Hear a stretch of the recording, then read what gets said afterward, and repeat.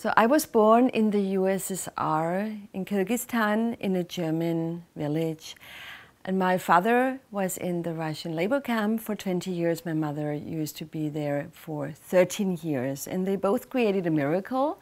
They got us out of Russia at a time where actually nobody could get out. So I've learned very early in my life there's always a way out, no matter how it looks like. When we came to Germany, I also saw that everybody in our family took their prison cell with them. And I think that happens a lot. I did that as well. I developed a lot of diseases. I was always sick. My mom always took painkillers. My sister ended up in the mental home, and my father, he finally died.